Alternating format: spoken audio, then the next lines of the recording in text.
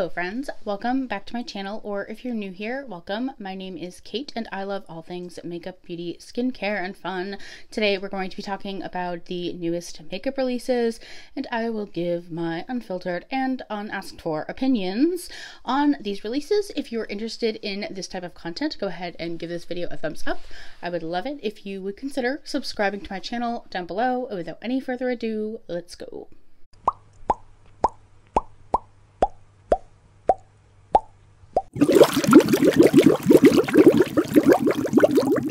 All right, so I have my iPad ready and we will hop right in. The first new release is somewhat new. New is kind of a loose term. It's an addition to the Tarte Maracuja Juicy, Juicy, Juicy, Juicy uh, lip tint things. These are their new lip vinyls.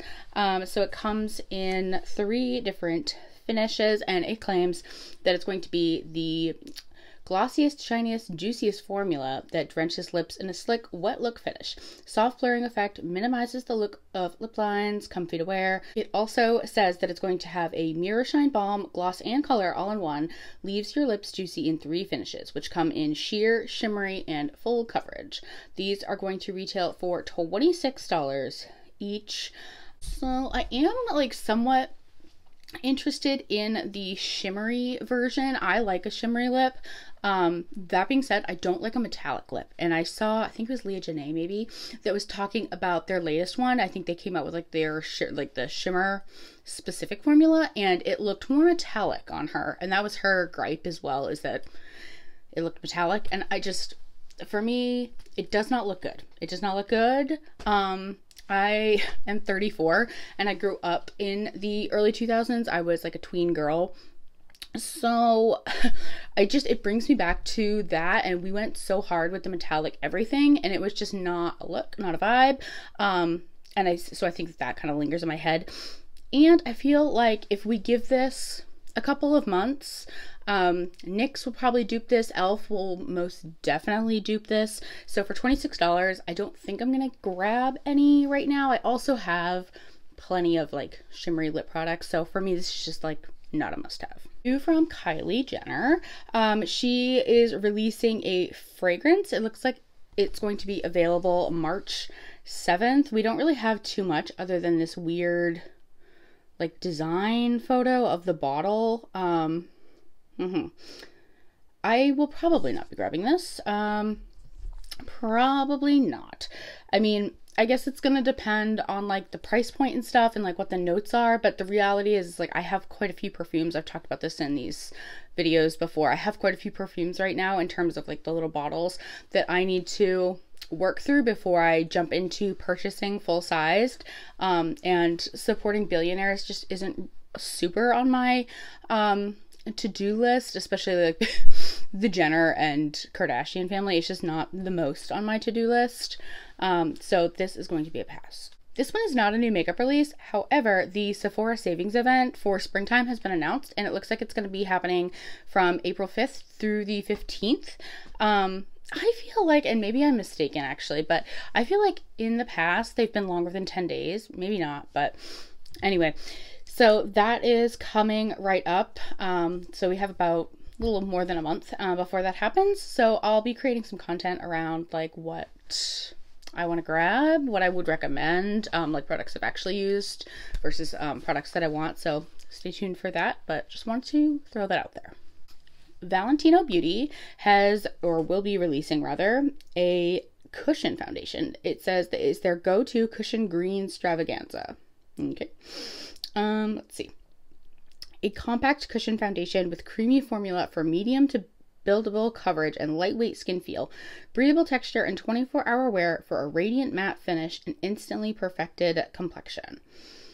Hmm. Coming soon on their website, website, website and retailers. So, I like the idea of like a medium coverage um, cushion foundation. I love the packaging. Like this color is just so pretty to me. Um, I don't know, honestly, and you'll have to let me know down below. Maybe I don't think Valentino has a cushion foundation. I think this is their first one. Um, we went through a phase in the 2010s where cushion foundations were like a hot button issue. Um, and I had a couple that I really did enjoy. My gripe with them is that the amount of product that actually comes in the containers is not always, it's actually very rarely substantial. Um, so that's not perhaps ideal. I like the idea um, of also like the radiant matte. I'm like, what does that kind of mean? But I like the, that the word matte is in there. And I also like that it has 24 hour wear. I work in healthcare, and so something that's going to last me the entire day is going to be a necessity. Um, so I could be convinced it's going to be expensive, of course, because it's Valentino, but I could be convinced if it comes to Sephora. We have some new releases from Polite Society. So these are their Polite Pops, which are an innovative powder in a stick formula. So these are going to retail for $28. They are a powder blush stick, blurring soft matte formula that combines the effortless, effortless rich color and blendability of a cream with the look and feel of a powder. That is actually very interesting. And then they also have their Polite Pout, which is going to be a glossy balm. These are going to retail for $21. And there are, let's see here, five different scents. Um, I'm gonna be honest, the lip balms, I, I've said this in other videos um, where I talk about new makeup. I have plenty of lip balms, um, enough to moisturize the lips of a Continental Army. Um, so that's really not on my to buy list. I am pretty interested in these powder and a stick um, little, whatever they are, the Polite Pops, I guess. Um, I'm a little, so blurring soft matte formula. So soft matte is usually not terrible. I really like a shimmery blush um, for context here. So matte is not always necessarily my most favorite um, in terms of finishes for blush. That being said, though, on and, and I think it's probably just the campaign, but on that model, it does look really pretty, like that like corally orange shade, like it the way the light's hitting it, it looks really pretty. Um, and 28 dollars seems steep not necessarily because not necessarily because it's a like a higher end blush i understand that but like look how teensy they are. They're like little muffins and they're $28 seems a bit expensive but I could be convinced. Um, I'm pretty sure Polite Society is sold at Ulta, so it's pretty accessible. Um, and it looks like they have some shades that also I would be interested in. Of course, there's like that like bright baby pink that has that blue undertone that's just like my super favorite um, it looks like they also i really like that coral that the again that the model is wearing and the red so this definitely could be a grab for me Tom Ford has released or sneak peeked rather not released they've sneak peeked their summer collection which um, you know, good, good because it's February, so whatever. Um, it's their Soleil Summer Collection. Let's just see here. It includes an eye quad eyeshadow in Emerald Dusk. We'll come back to that. A Soleil Spark color changing lip oil, a golden highlighter, ultra shine lip colors. Coming soon. No prices listed. A couple things. Um, so I, I understand i do understand that tom ford is a high-end brand and so their prices are going to be astronomical and tom ford makes one of my favorite foundations which is being like i think it's being reformulated or maybe it's being repackaged regardless you can't find it anywhere which is just love that for me um, but beyond that so now that we have all of the positives and we've established that i do enjoy tom ford as a brand first of all that highlighter i feel i feel like he releases, or his makeup brand releases a new highlighter for every season, and it always looks strikingly similar, if not nearly the same, as the one that he released the season prior. So I'm not saying, so, and I don't have a Tom Ford highlighter, so I can't speak to the formula certainly, but um, the color, it like, I just feel like I, we've seen this, and we have seen this not not once, not twice, but like 15 times.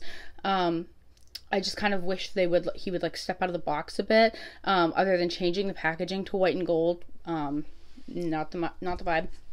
And then we go down to the quad, which, for reference, Tom Ford quads are like ninety dollars.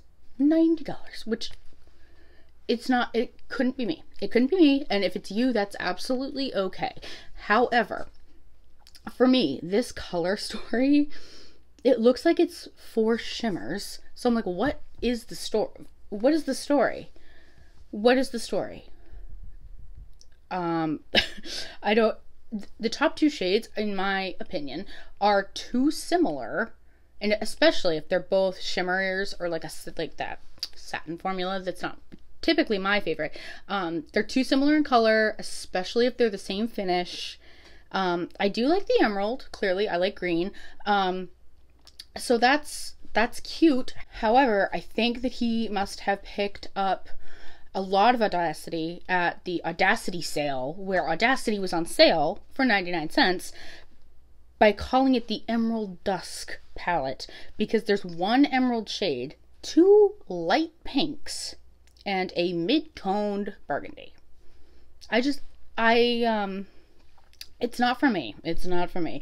And I think too beyond that, beyond that, I am not somebody that typically likes a quad. I do have a couple of them and I do use them because they're easy to keep in my to go makeup bag. Um, that being said, they're not my go to because I like color and I like to do more colorful looks. I like to I'd like to have an array of shadows to dip into when I'm doing my makeup. So I understand that this is not made for me and that there's probably people out there that are going to absolutely go bananas for this. For me and the way that I like to do my makeup, this is just absolutely not for me. The um, lip balm is also, or lip oil, excuse me, is also not for me. Um, and I do, I have one of Tom Ford's lipstick formulas, and I think it's obviously it's a very nice formula. However, these colors um, are not what I'm looking for, especially for summer. They're just not what I'm looking for. So across the board, it's a pass. Across the board, it's a pass. The next launch is, I don't think actually meant for me. Um, and by that I mean my skin tone but I thought it was interesting. So this is new from Jergens. This is their Melanin Glow for the face. Um, it is a moisturizing glow enhancer, and this is going to retail for $10.99. Uh, formulated for all hues of melanated skin. So yeah, exactly. It's not um like meant for me. To help wait, help highlight focal points of the face. Also contains coconut water and hyaluronic acid. It launched 225 at Target. Um, so 10.99 I think is actually a pretty good price point for something like this, and you get two fluid ounces, which is quite a bit. Um, again, this is it's seemingly sounding strikingly like it's not meant for my skin tone, which is totally fine. But I did think it was kind of cool um, that they came out with this. I don't know if they have this formula already um, like in other shades, but this one was specifically for melanated skin, so I thought it was kind of cool. Beauty Bay released a new eyeshadow palette. This is their smoky eyeshadow palette. Um, so there, uh, I don't understand, but whatever. So there's three sizes. There's a nine pan, a 16 pan, and a 42. 42 pan. This is launching 226, so by the time this video goes live, it'll already be released. So first of all, I don't know who in their right mind needs 42 shades of gray. What? I, I, I don't know. I mean, I do see like that. I clearly see that there's some like navies in there. There are some browns in there, but the vast majority of those shades are white, gray, and black, and taupe. No. Um, and then the nine pan in terms of like usability, I feel like in these promo pictures anyway, for me it doesn't look like the most comprehensive nine shades that they could have chosen out of the 42 that they created for this collection. Um, so I think the 16 pan, in terms of like what I would use, would be the most likely option. Um, it doesn't say what the price point is. That being said, Beauty Bay tends to have pretty reasonable pricing. I don't know what is going on with brands, like why they're all doing this 50 Shades of Grey color story. I'm interested in the Natasha Denona one, but I just don't know, like realistically, how often am I wearing a super smoky eye? Not the most often. So for me, this is a pretty easy pass. I just, I want to know what's going on. I want to know what's going like why all of a sudden are so many brands coming out with 50 shades of gray eyeshadow palettes. I mean like so, do you guys remember when Jeffree Star Cosmetics came out with the cremated palette? The timing was like, oh my god. Um, it was in 2020 and everything was going to hell in a handbasket. And he came up with a cremated palette, which I had at one point. Um, I have since gotten rid of it. I don't own or buy anything Jeffree Star Cosmetics. However, beyond the fact that it was called cremated in the middle of a global pandemic, um, which the timing was just not great. I, you know, whatever. I'm not saying he did that intentionally. What I am saying though is that that palette got roasted because it was 50 shades of gray. And now here we are 4 years later and everybody and their sister is coming out with 50 shades of gray. And I mean, at the time I, I did buy it and I used it a couple times. The formulas were fine, whatever. But for me, it was a huge palette with so many different shades of gray um, and just, I never used it. So this is an absolute no. NYX has some new bronzers, and it took me a second to realize that these were bronzers. We'll get into that in a minute. Um, these are their buttermelt bronzers. So they are $10 each, and there are eight shades. Um, it says that it melts into the skin, delivering a buttered up bronzed finish and silky smooth skin. Soft glow shades infused with mango butter, shea butter, and almond butter. So, as I mentioned, it took me a minute to realize that these are bronzers because I don't know like if it's just these promo pictures or like what is going on here, but they all look like they're blushes. I don't know. And I mean, I I'm not opposed to trying them. Certainly. I'm actually a little intrigued if for no other reason than these promo photos they literally look like blush. I I don't know what is going on.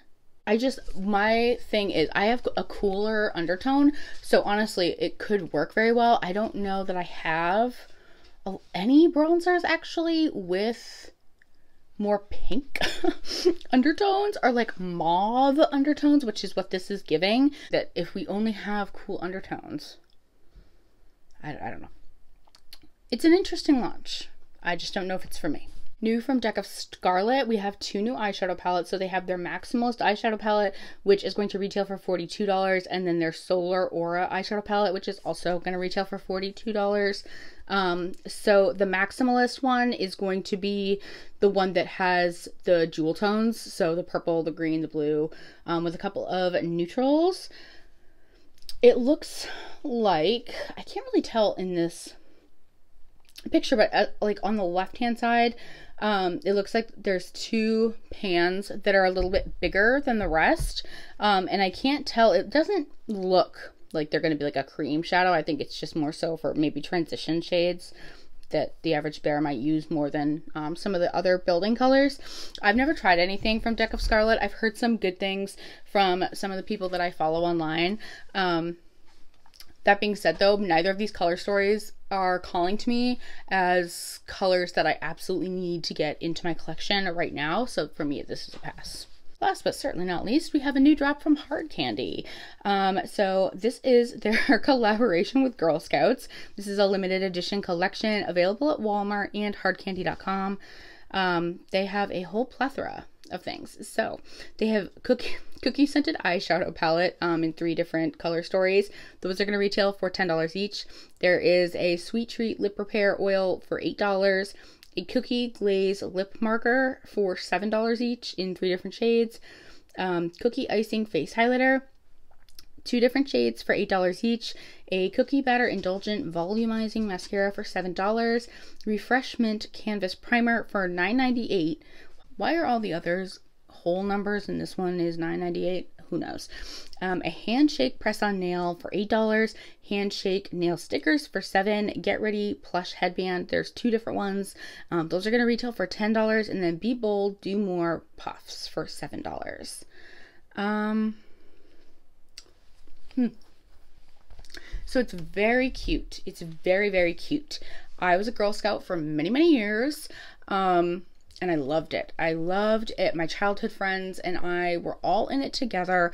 My childhood best friend's mom was our troop leader. We went on these adventures. We sold cookies. It was so fun. And so Girl Scouts of America hold like a very special place in my heart.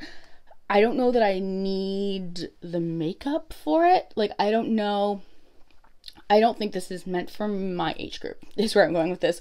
Like it's very cute. I love like the nostalgia of the Girl Scouts for me. I just don't think realistically that any of these products are for my age group because I am probably not going to wear I'm probably not going to wear a cookie headband. Um the powder puffs are very cute and the um oh my gosh, what did they call them? Like the lip pens, oh lip markers. They look like they come in some really cute shades. The eyeshadow palettes, Hard Candy has some like really good formulas. They're just not color stories necessarily that I am like chomping at the bit for. Um I also am not somebody that necessarily loves limited edition collections like this. I do think it's super cute. I think that if you even if you are my age and you're like i love this that i love that for you. Um so i'm not i do not mean to be like shaming um when i say that this is not necessarily meant for my age group. I just don't think for me this is going to be a must have that being said i could like saunter into walmart and see it and be like oh you know what i want a piece. Um but am i gonna like hunt it down? No that is all of the new makeup releases this week. It was a pretty dry week. Like, I don't know that there's anything on here that I am super excited about. Maybe that Valentino cushion and super excited. It's very loose. Um, I am not super excited about it. I could be convinced about a couple things. I could be convinced about that Valentino um, cushion foundation. I could be convinced about the Polite Society blush sticks, but kind of a dry week. I feel like we did have a super busy week last week though, so I'm not super surprised. Um, I'm curious to know what you guys are thinking about these new makeup releases. Please let me know down below so we can have a little banter back and forth about our thoughts. Thank you guys so much for watching today's video. If you enjoyed this video, please go ahead and give it a thumbs up. I would love it if you would subscribe to my channel down below. As always, please stay happy, stay healthy, and stay blessed, and I will see you on the next video. Bye.